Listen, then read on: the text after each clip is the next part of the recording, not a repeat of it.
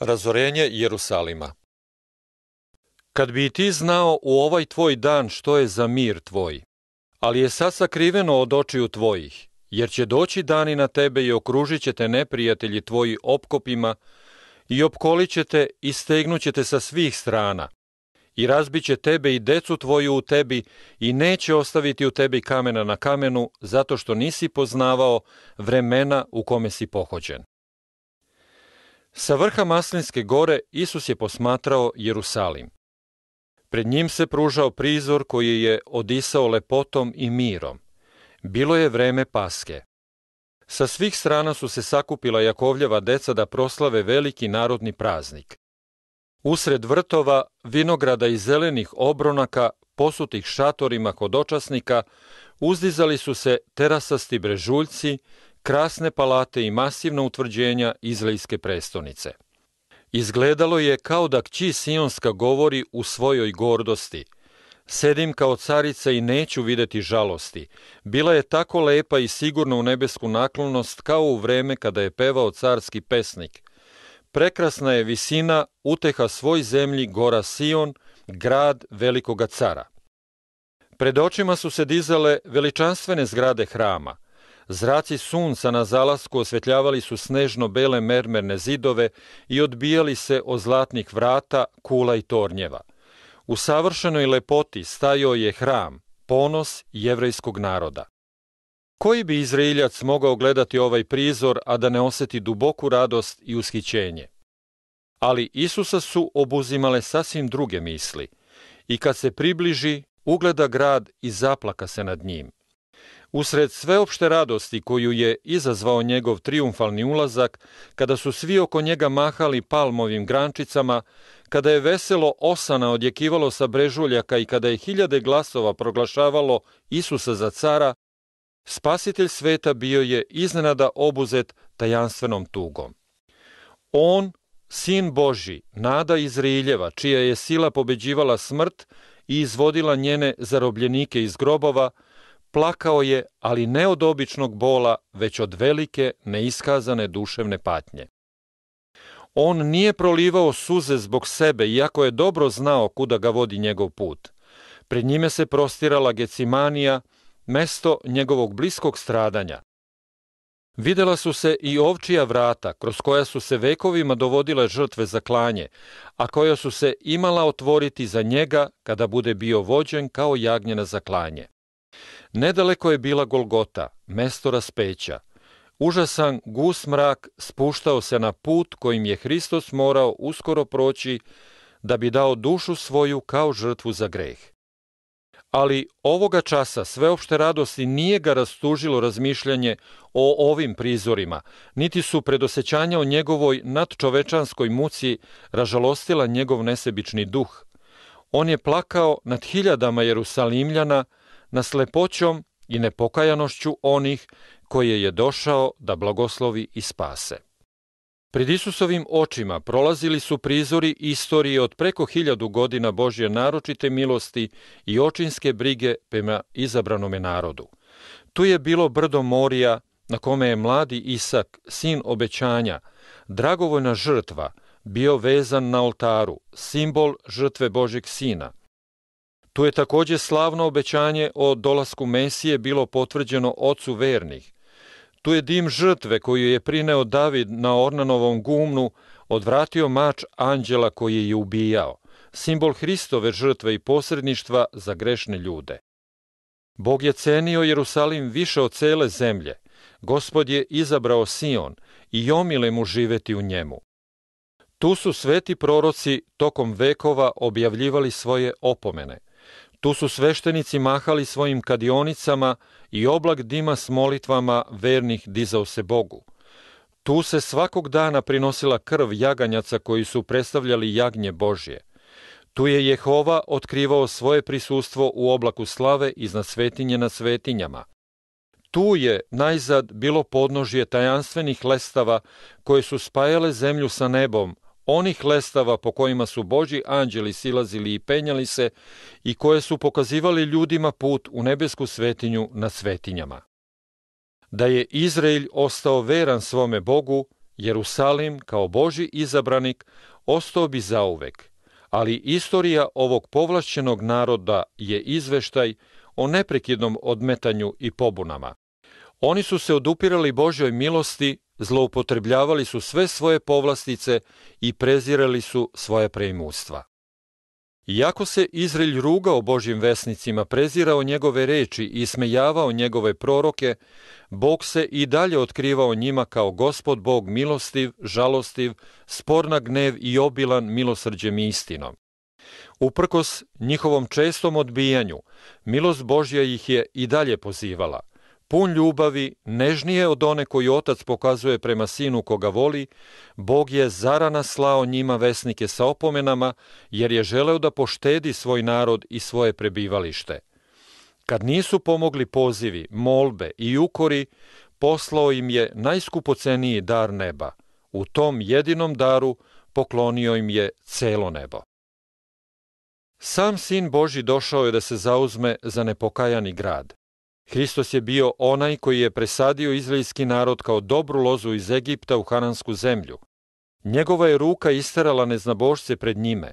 On je taj vinograd posadio na plodnome brežuljku, ogradio ga je ogradom, poslao je svoje sluge da ga neguju.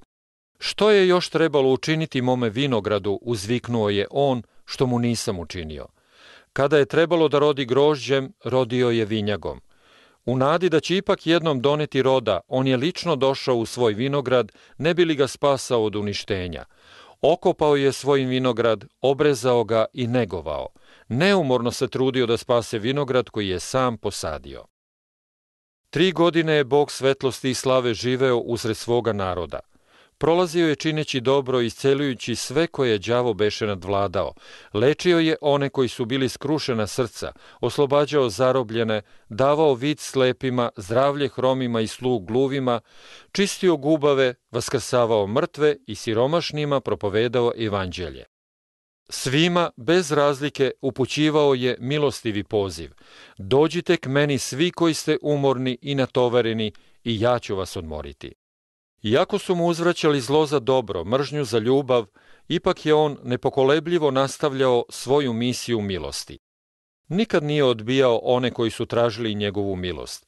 Iako je sam bio putnik bez doma i njegov svakodnevni život beda i oskudica, on je živeo da čini dobro, da olakša bedu nevoljnima, moleći ljude da prime dar njegovog života. Valovi milosti, koji su se odbijali od upornih srdaca, vraćali su se u obliku jače, saosećajnije i još veće ljubavi. Ali Izrael se odvratio od svog najboljeg prijatelja i jedinog pomoćnika, prezirao je pozive njegove ljubavi, odbijao njegove savete i ismejavao njegove opomene. Čas milosti i oproštaja bio je na izmaku, čaša Božjeg gneva, tako dugo zadržavana, bila je skoro puna. Mračni oblaci koje su vekovi otpada i pobuna nagomilali, sada su jezivo pretili i svaki čas su mogli da se provale nad jednim neposlušnim narodom. A onoga koji ih je mogao izbaviti od predstojeće nesreće, oni su prezreli, naružili, odbacili i spremali su se da ga razapnu. Kad Isus bude razapet na krs Golgote, onda će isteći dani ovog naroda koji je Bog blagosiljao i koji mu je bio mio – Gubitak samo jedne duše je nesreća koja nadmašuje dobitke i blaga celoga sveta. Ali ovog trenutka, kada je Isus gledao Jerusalim, nesreća jednog celog grada, celog jednog naroda bila je pred njegovim očima, tog grada, tog naroda koji je Bog nekada bio izabrao i koji je bio Božje naročito blago. Proroci su plakali nad otpadom Izraelja i užasnim pustošenjima koje su došla na njih zbog njihovog greha. Jeremija je želeo da njegove oči budu izvor suza da bi mogao plakati dan i noć za pobijenim kćerima svoga naroda, za Božim stadom koji je bilo oterano u ropstvo. Kolika je onda bila žalost onoga čiji je proročki pogled obuhvatao ne samo godine, već vekove. On je gledao anđela smrti sa podignutim mačem nad gradom koji je tako dugo bio prebivalište Jehove. Sa vrha Maslinske gore, sa onog mesta koje je docnije zauzeo Titi njegova vojska, gledao je preko ravnice sveti hram i predvorje sa stubovima i očima mutnimo suza posmatrao je užasnu sliku, gradske zidove opkoljene neprijateljskom vojskom. Čuo je hod vojske koja je nastupala, čuo je glasove majki i vapaj dece za hlebom u opsednutome gradu. Video je u plamenu sveti i divni hram, njegove palate i kule, a potom ih je video pretvorene u ruševine koji se puše. Gledajući napred vekovima, video je narod zaveta rasejan u sve zemlje kao ostatke broda na pustoj obali. U ovoj kazni, koja je trebalo uskoro da se izlije na decom Izrailjevom, video je prve kapi čaše gneva koje će se u posljednjem sudu izleti do dna. Božansko saučešće došlo je do izražaja u rečima punim bola. Jerusalime, Jerusalime koji ubijaš proroke i zasipaš kamenjem poslane k sebi. Koliko puta htedoh da skupim čeda tvoja kao što kokoš skuplja piliće svoje pod krila i nehteste. O ti narode koji si imao više preimustva od svih drugih naroda, da si poznao vreme svoga pohođena i ono što je za mir tvoj. Ja sam zadržavao anđela osvete, ja sam te pozivao na pokajanje, ali uzalud. Ti si odbio i odbacio ne samo sluge, poslanike i proroke, nego čak i sveca Izraeljeva, tvoga spasitelja. Kad budeš razoren, ti ćeš sam biti tome kriv i nećete da dođete k meni da imate život večni. Isus je u Jerusalimu gledao simbol sveta okorelog u neverstvu i pobuni koji se naglo približava Božjim osvetničkim sudovima. Beda otpalog roda tištala je njegovu dušu i otela mu iz ustiju neizmerno gorak uzvik. Gledao je istoriju greha i ljudskoga stradanja napisanu suzama i krvlju.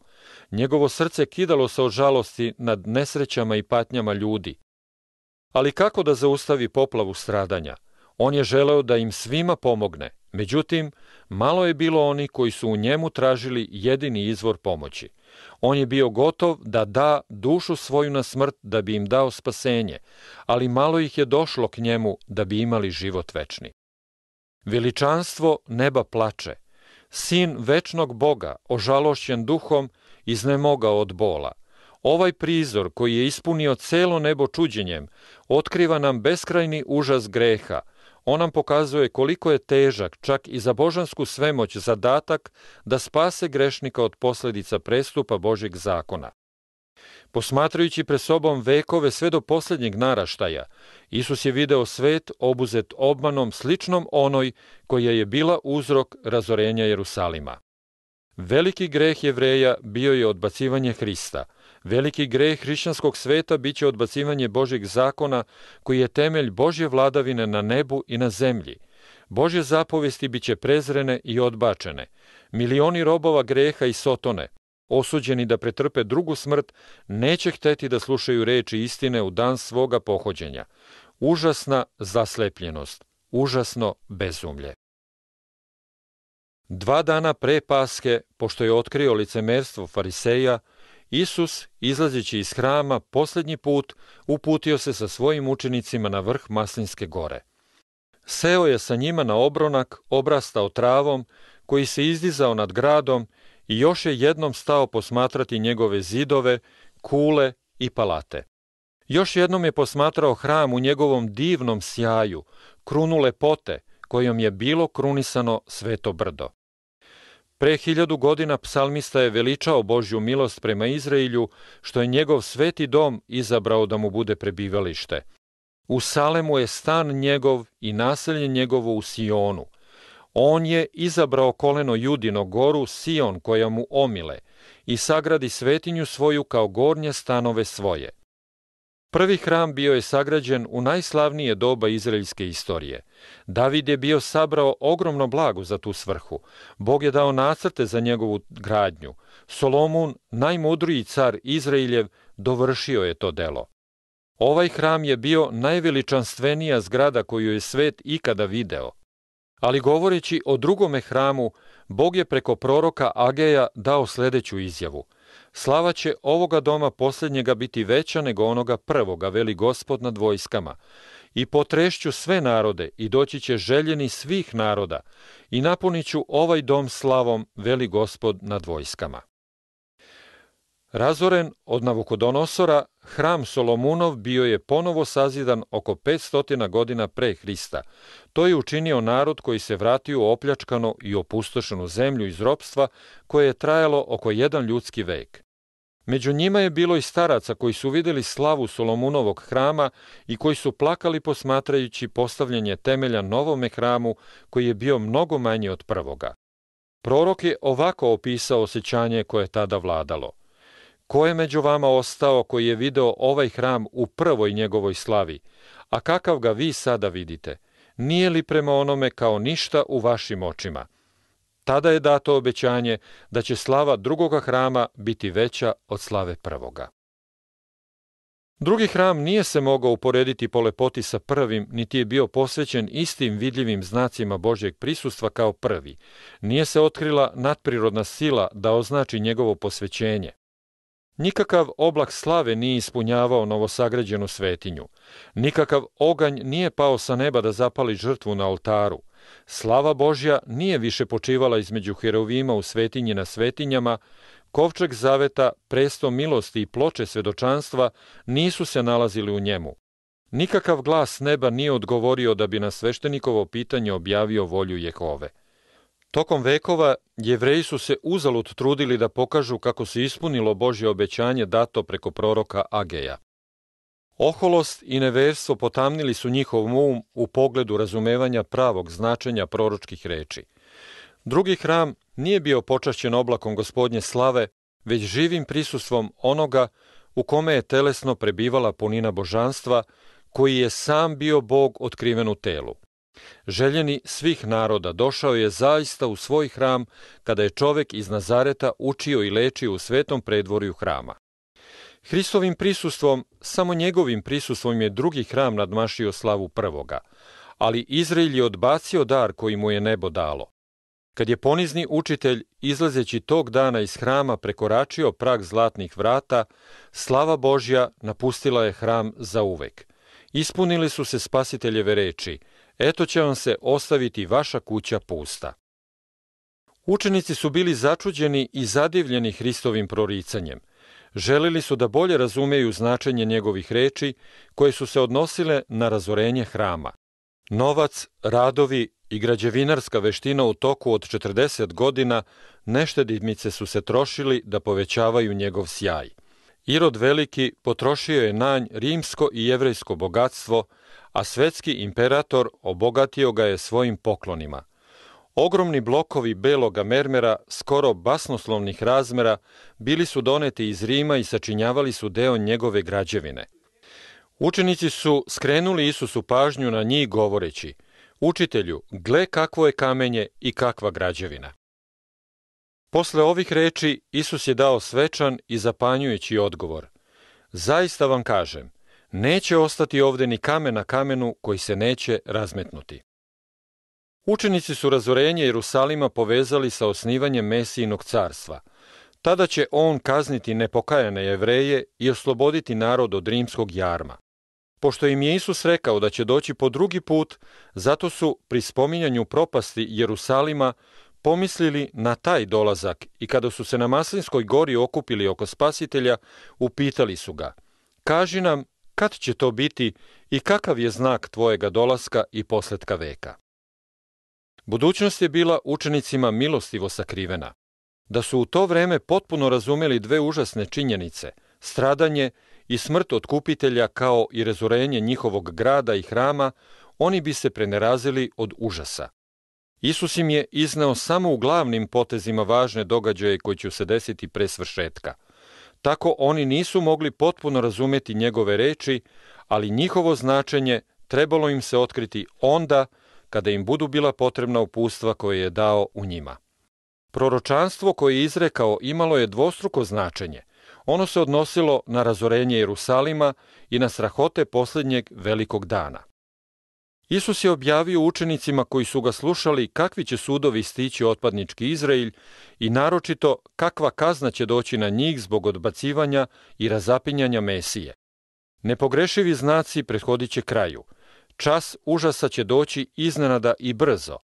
Spasitelj je upozorio svoje sledbenike, kada dakle ugledate na mestu svetome mrzost opustošenja o kojoj govori prorok Danilo, koji čita da razume. Tada koji budu u Judeji neka beže u gore. Kada idolopokloničke zastave Rimljana budu uzdignute na svetom zemljištu koje se prostire nekoliko stotina metara izvan zidina Jerusalima, tada Hristovi sledbenici treba da napuste grad.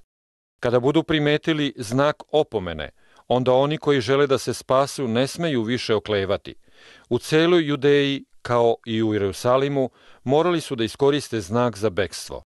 Onaj koji bi se našao na krovu nije smeo silaziti u kuću da bi spasao svoje najdragocenije blago. Oni koji bi radili u polju ili u vinogradu ne smeju da se zadržavaju i vraćaju da uzmu gornju haljinu koju su ostavili na strani dok su radili po vrućini dana. Ne smeju oklevati ni jedan trenutak da ih ne bi uništilo sveopšte uništenje. Za vreme Irodova vladanja Jerusalim se ne samo mnogo ulepšao, već je podizanjem kula, zidova i utvrđenja uz njegov prirodni položaj postao na izgled neosvoji. Onaj koji bi u ono vreme prorekao njegovo razorenje bio bi smatran nerazumnim narušavateljem mira, kao Noje u svoje vreme. No, Isus je rekao, nebo i zemlja će proći, ali moje reči neće proći. Gnev protiv Jerusalima objavljen je zbog njegovih grehova i njegovo uporno neverstvo zapečatilo je njegovu osudu. Gospod je objavio preko proroka Miheja, Čujte ovo poglavari doma Jakovljeva i knezovi doma Izraeljeva, koji se gadite na pravdu i sve što je pravo izvrćete, koji gradite Sion krvlju i Jerusalim bezakonjem. Poglavari njegovi sude po mitu, a sveštenici njegovi uče za platu, i proroci njegovi gataju za novce, a na gospoda se oslanjaju govoreći, nije li gospod usred nas, neće doći zlo na nas. Ove reči dobro opisuju podmitljivost i lažnu pravdu stanovnika Jerusalima. Iako su tvrdili da strogo drže propise Božeg zakona, prestupali su sva njegova načela. Mrzeli su Hrista, čija je svetost i čistota otkrivala njihova bezakonja i oni su ga optuživali da je on uzrok svih zala koje su došla na njih zbog njihovih greha. Iako su priznavali njegovu bezgrešnost, izjavili su da je njegova smrt potrebna radi sigurnosti nacije. Ako ga ostavimo tako, rekli su evrejski poglavari, svi će ga verovati, pa će doći Rimljani i uzeti nam zemlju i narod. Ako pogube Hrista, mislili su oni, postaće još jednom jak i ujedinjen narod.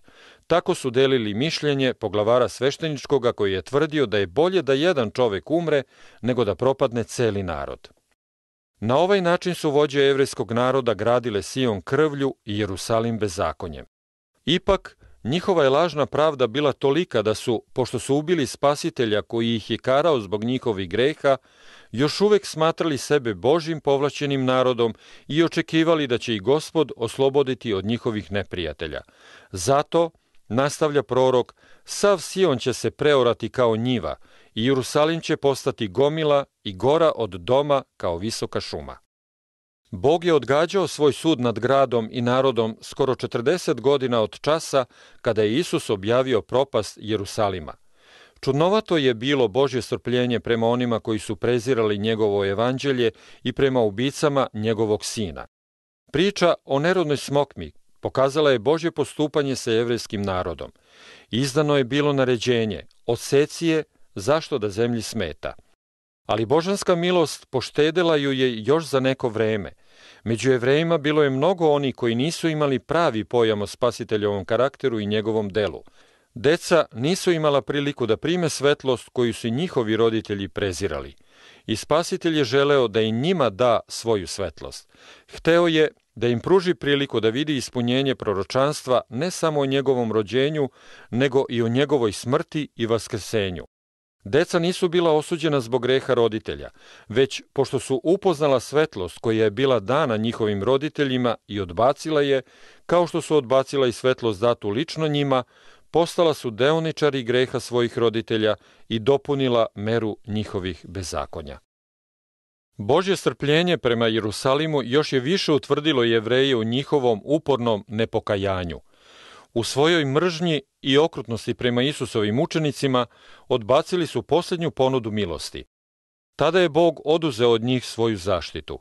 Prestao je da zadržava Sotoninu moć i tako je narod ostao u rukama vođe koga je izabrao. Jevreji su prezreli Hristovu milost koja bi im dala snagu da pobede svoje grešne strasti, te su sada strasti pobedile njih. Sotona je probudio u njima najužasnije i najniže strasti. Nisu više rasuđivali, postali su bezumni, njima je upravljao nagon i slep gnev. Postali su sotonski okrutni, u porodici kao i u narodu i u višim slojevima kao i u nižim, svuda je vladalo nepoverenje, zloba, zavist, nesloga, pobune i ubistva. Nigde nije bilo sigurnosti. Prijatelji i rodbina izdavali su jedni druge. Roditelji su ubijali svoju decu, a deca svoje roditelje. Narodni upravljači nisu imali snagu da vladaju sobom. Njihove strasti su ih činile tiranima. Jevreji su primali lažna svedočanstva da bi osudili Božjeg nevinog sina. Sada su lažne optužbe učinile njihov život nesigurnim. Svojim delima su odavno govorili neka nestane ispred nas sveca Izraeljeva. Njihova se želja ispunila. Boži strah nije ih više ispunjavao. Sotona je bio na čelu naroda. Građanske i verske vlasti bile su pod njegovom upravom. Vođe neprijateljskih stranaka ponekad bi se ujedinile da bi opljačkale svoje nesrećne žrtve, a posle bi se bacili jedni na druge i nemilosrdno bi se istrebljivali. Čak ni svetost hrama nije mogla zadržati njihovu okrutnost. Verni su bili ubijani pred žrtvenikom i svetinja se oskrnjivala telima ubijenih.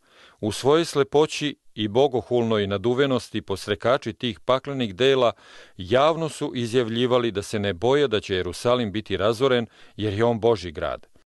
Da bi još više utvrdili svoju moć, potkupili su lažne proroke koji su objavljivali u isto vreme kada su već rimske legije opsedele grad da će spasenje od Boga sigurno doći.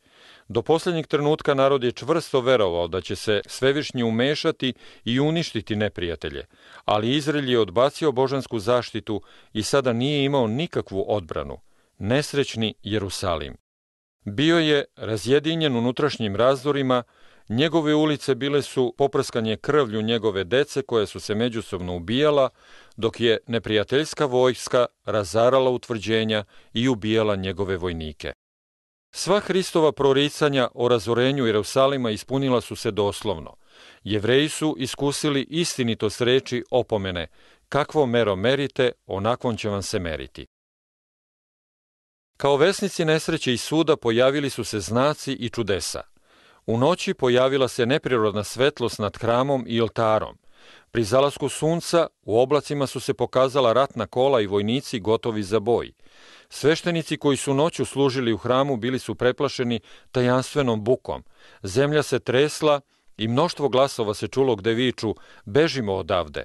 Velika istočna vrata, toliko teška da su ih 20 ljudi jedva mogli zatvoriti, osigurana ogromnim gvozdenim polugama zabijenim duboko u čvrstu kamenu podlugu, otvorila su se sama u ponoći.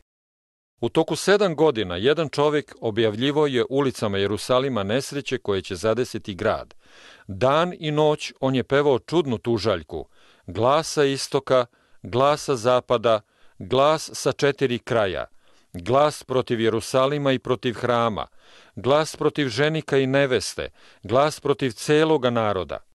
Ovo čudno biće bacili su u zatvor i tukli ga kamenjem, ali nisu izvukli iz njegovih ustiju nikakav glas. Na pogrde i mučenja on je samo odgovarao, teško, teško Jerusalimu, teško njegovim stanovnicima, nije prestao sa svojim opomenama dok ga nisu ubili za vreme opsade koju je prorekao. Nijedan hrišćanin nije poginuo prilikom opsade Jerusalima. Isus je opomenuo svoje učenike i svi koji su verovali pazili su na obećani znak. A kad vidite da Jerusalim opkoli vojska, rekao je Isus, onda znajte da se približi vreme da opusti. Tada koji budu u Judeji neka beže u gore i koji budu u gradu neka izlaze napolje i koji su napolju neka ne ulaze u njega. Rimljani pod cestijem opkolili su grad. Iznenada kada je sve izgledalo pogodno za jedan brzi napad, oni su povukli opsadu. Opsednuti koji su izgubili nadu u uspešnu odbranu, bili su već gotovi da se predaju kada je rimski vojskovođa povukao vojsku bez ikakvog vidljivog uzroka. Bog je u svojoj milosti upravljao događajima u korist svoga naroda. Obećani znak se pokazao hrišćanima koji su čekali i sada se pružila prilika svima koji su hteli da poslušaju spasiteljovu opomenu. Događaji su tako tekli da ni jevreji ni rimljani nisu hrišćanima ometali bekstvo. Videći da cestije odstupa, jevreji su pojurili iz Jerusalima i počeli su da gone njegovu vojsku. Sada su hrišćani imali priliku da napuste grad. U to vreme i okolina je bila očišćena od neprijatelja koje bi mogli da ih zadrže. Za vreme opsade jevreji su bili sakupljeni u Jerusalimu da proslave praznik Senica i tako su hrišćani u celom kraju imali mogućnost da nesmetano beže. Oni su pobegli u jedno sigurno mesto, u grad Pelu, u pokrajini Pereji s one strane Jordana. Jevrejska vojska, goneći Cestija i njegovu vojsku, bacila se takvom žestinom na njegovu zaštitnicu da je izgledalo da će je potpuno uništiti. Rimljani su sa velikom mukom uspeli da se povuku. Jevreji, čiji su gubici bili neznatni, vratili su se triumfalno u Jerusalim, natovareni plenom, ali ovaj prividan uspeh doneo im je samo zlo.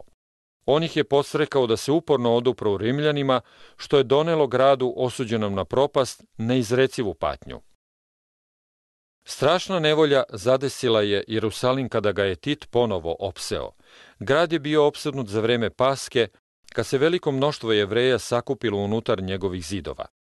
Hrana, koja bi stanovnicima služila godinama da su je racionalno delili, bila je uništena od neprijateljskih stranaka koji su se borili za prevlast i uskoro su se stanovnici našli pred užasnom gladi.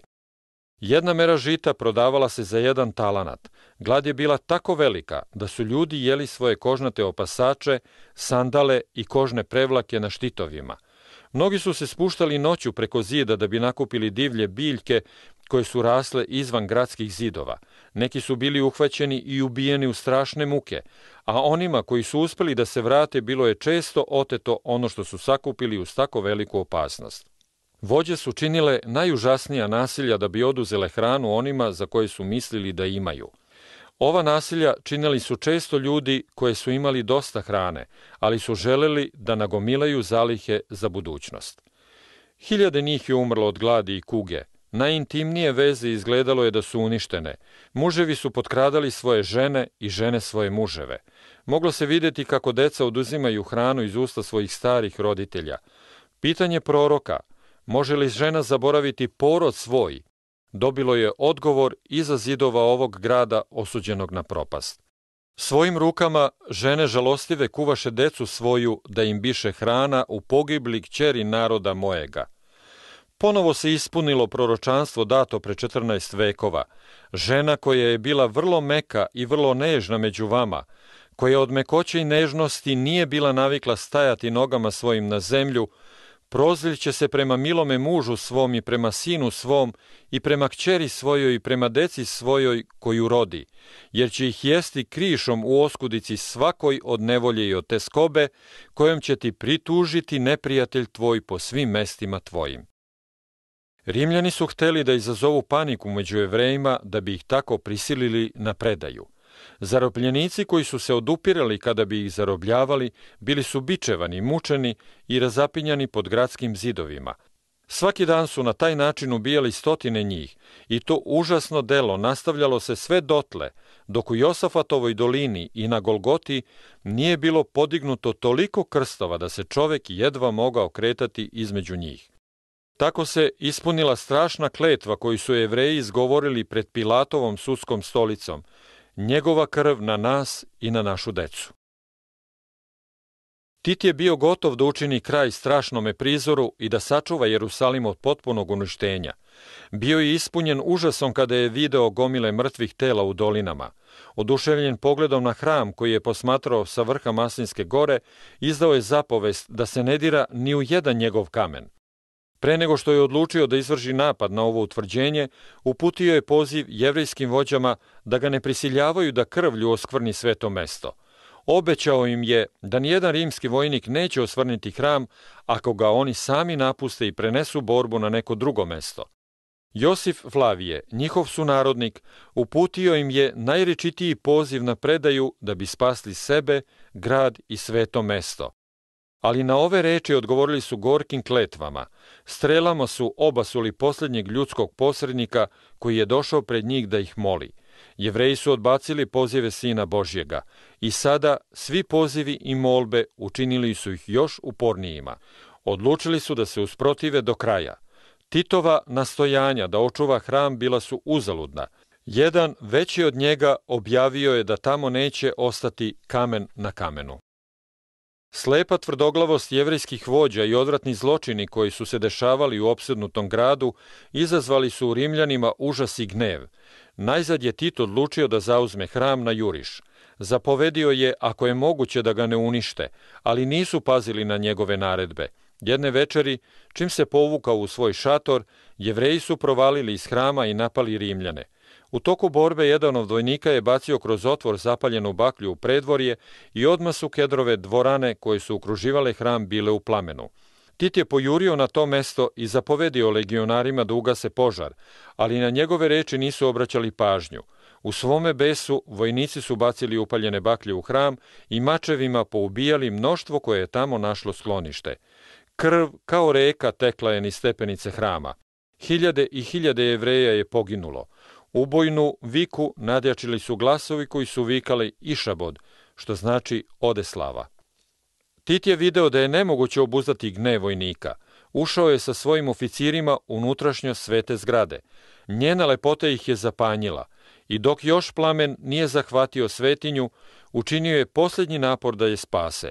Izlazeći napolje, ponovo je naredio vojnicima da zaustave širenje požara. Kapetan Liberalis pokušao je da svojom zapovedničkom palicom naredi poslušnost, ali čak ni imperatorov autoritet nije mogao suzbiti užasno neprijateljstvo prema jevrejima, divlje uzbuđenje izazvano borbom i nezasitu poklepnost za pljačkom. Vojnici su videli kako se sve oko njih blista u zlatu koje je u divljoj svetlosti plamena blješteći osjajivalo. Pretpostavljali su da se neprocenjivo blago nalazi u svetinji. Jedan od vojnika neprimetno je bacio zapaljenu baklju u unutrašnjost, za trenutak sve je bilo u plamenu. Zaslepljeni dimom i vatrom, oficiri su se morali povući. Slavna zgrada bila je prepuštena svojoj sudbini. To je bio za Rimljane užasan prizor, a još više za Jevreje. Ceo vrh brežuljka koji je dominirao gradom plamsao je kao vulkan. Jedna za drugom zgrade su se rušile i nestajale u ognjenom bezdanu. Krovovi od kedrovine bili su slični vatrenom moru, pozlaćeni tornjevi svetili su se kao ognjeni jezici, a sa kula nad vratima dizali su se visoki stubovi plamena i dima. Susedni brežuljci su bili osvetljeni. U mraku grupe ljudi posmatrali su sa užasnim strahom širenje pustošenja. Na zidovima i uzvišenim mestima gornjega grada tiskala se masa sveta, neki bledi od strašnog očajanja, a drugi mrki od nemoćne osvete. Poklici rimskih vojnika i zapomaganje pobunjenika koji su umirali u plamenu mešali su se sa hukom požara i tutnjavom greda koje su se rušile. Jeka sa planina ponavljala je krikove naroda koji se nalazio na uzvisinama – Ljudi koji su umirali od gladi prikupljali su posljednju snagu da izuste krik straha i očaja. U unutrašnjosti odvijao se još strašniji prizor. Ljudi i žene, mlado i staro, pobunjenici i sveštenici, oni koji su se borili i oni koji su tražili milost bili su bez razlike poklani. Broj ubijenih nadmašio je broj ubica. Legionari su se morali penjati preko gomile mrtvih da bi nastavili delo uništavanja. Posle razorenja hrama, ceo je grad pao u ruke Rimljana. Vođe jevreja napustili su neosvojive kule i Titih je našao puste. Pošto ih je sa čuđenjem posmatrao, izjavio je da mu ih je sam Bog predao u ruke, jer nikakva ratna oruđa, ma kako bila jaka, ne bi mogla osvojiti te tvrđave. Grad i hram bili su razoreni do temelja i zemlja na kojoj je stajala sveta kuća bila je izorana kao njiva. Za vreme opsade i pokolja poginulo je preko milion ljudi. Oni koji su preostali u životu bili su odvedeni u ropstvo, prodaveni kao roblje, dovedeni u Rim da ukrase triumf pobednika, bacani pred divlje zveri u amfiteatru ili su bili rasejani kao beskućnici po celoj zemlji. Jevreji su sami sebi iskovali okove, sami su napunili čašu osvete. U svom uništenju kao nacije i u svim nevoljama koji su ih snašle posle rasejavanja, želi su ono što su sami posejali. Prorok kaže, o Izraelju, ti si sam sebe uništio, jer si pao zbog svog bezakonja. Njihovo se stradanje često pominje kao kazna koja ih je stigla po Božjem naređenju. Na taj način veliki varalica pokušava da sakrije svoje delo. Međutim, upornim odbacivanjem božanske milosti, jevreji su prouzrokovali da ih napusti Božja zaštita, tako da je Sotona mogao da vlada nad njima po svojoj volji – Nečuvene okrutnosti koje su se dešavale prilikom razorenja Jerusalima dokazu osvetničke sotonine sile nad onima koji se podvrgavaju njegovom vodstvu. Ne možemo dovoljno razumeti koliko dugujemo Hristu za mir i zaštitu koju uživamo. Božja sila sprečava da čovečanstvo potpuno padne po sotoninu vlast. Neposlušni i nezahvalni učinili bi dobro kad bi zahvalili za Božju milost i strpljenje koji zadržavaju okrutnu i zlu sotoninu silu. Ali kada ljudi pređu granicu Božeg strpljenja, onda se njegova zaštita povlači. Bog ne stoji prema grešniku kao izvršitelj presude zbog greha. On ostavlja same one koji su odbacili njegovu milost da požnju ono što su posejali. Svaki odbačeni zračak svetlosti, svaka prezrena ili zanemarena opomena, svaka grešna strast koju gajimo jednom rečju, svako gaženje Božjeg zakona je seme koje se seje i koje će doneti sigurnu žetvu. Ako se čovek udupire Božjem duhu, on ga najzad napušta i tada čovek ostaje bez sile kojom bi mogao da nadvlada svoje zle strasti i bez zaštite od sotonine zlobe i neprijateljstva. Razorenje Jerusalima je svečana opomena svima onima koji ne mare za opomene Božje blagodati i koji se odupiru molbama Božje milosti. Nikad nije bilo dato odlučnije svedočanstvo o Božjoj mržnji prema grehu i o neminovnosti kazne koja će jednoga dana stići grešnike. Spasiteljovo proročanstvo o razorenju Jerusalima treba da ima jedno drugo ispunjenje, prema kome je ovaj događaj samo slaba senka – U sudbini izabranog grada možemo videti sudbinu sveta koji je odbacio Božju milost i pogazio njegov zakon. Mračni su izveštaj ljudske bede, čiji je svedok bila zemlja kroz duge vekove zločina. Srce se stegne i duh klone pri razmišljanju o ovim stvarima. Užasne su bile posledice odbacivanja Božjeg autoriteta, ali još mračniji prizor krije budućnost – izveštaji prošlosti, dugi niz pobuna, sukoba i revolucija, ratna graja i odelo u krvi uvaljeno, nisu ništa u poređenju sa užasima onoga dana kada će se dug Boži povući od grešnika i neće više zadržavati ni eksploziju ljudskih strasti, ni sotonin gnev. Tada će svet videti kao nikada ranije posledice sotonske vladavine. Ali toga dana, kao i u vreme razorenja Jerusalima, Boži će se narod izbaviti, svaki koji bude zapisan za život. Isus je obećao da će doći po drugi put da skupi svoje vernike. Tada će proplakati sva plemena na zemlji i ugledaće sina čovečijega gde ide na oblacima nebeskim sa silom i slavom velikom. I poslaće anđele svoje sa velikim glasom trubnim i sabraće izabrane njegove od četiri vetra od kraja do kraja nebesa. Tada će svi oni koji su bili neposlušni evanđelju biti uništeni duhom usta njegovih i iskorenjeni svetlošću dolaska njegova. Kao i stari Izrael, grešnici će sami sebe uništiti. Oni će biti žrtva svoje nepravde.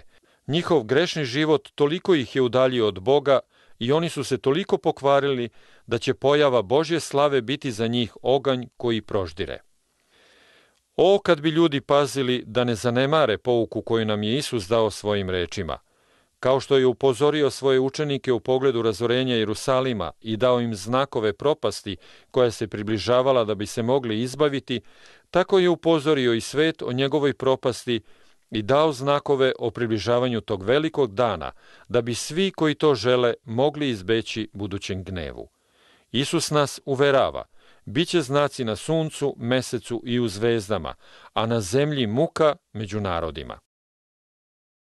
Ljudi koji budu videli ove znake preteče njegovog dolaska treba da znaju da je blizu kod vrata. Stražite, dakle, glase njegove reči opomene.